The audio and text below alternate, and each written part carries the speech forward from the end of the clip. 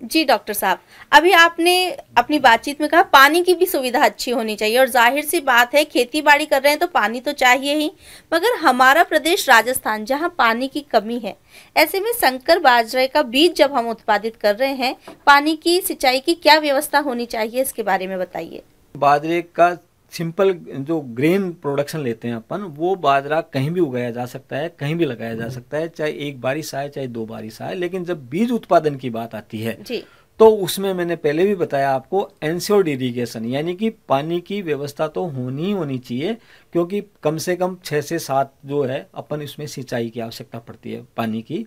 और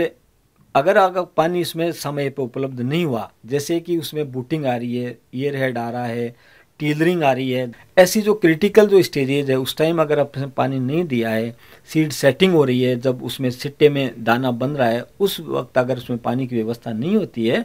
तो उसकी क्वालिटी भी प्रभावित होती है और उसका उत्पादन भी प्रभावित होता है। बाजरे की संकर किस्म के लिए कौन सी मिट्टी है जो उपयुक्त रहती है?